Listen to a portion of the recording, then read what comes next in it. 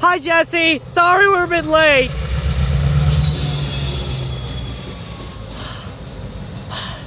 Jesse, I'm really sorry we're a bit late. What's that?